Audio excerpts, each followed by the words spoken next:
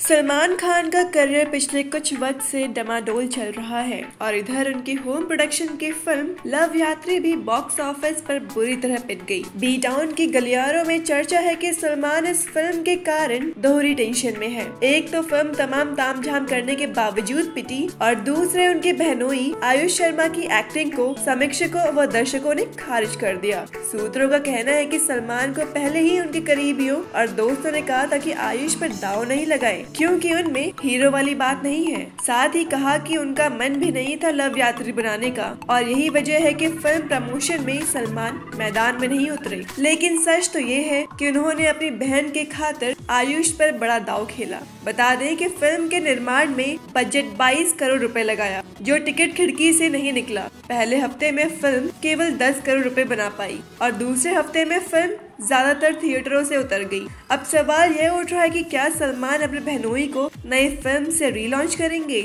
यह जानने के लिए आप देखते रहिए बोल बिंदाज और कमेंट करके हमें बताना ना भूले कि कैसी लगी आपको यह फ़िल्म, लव यात्री।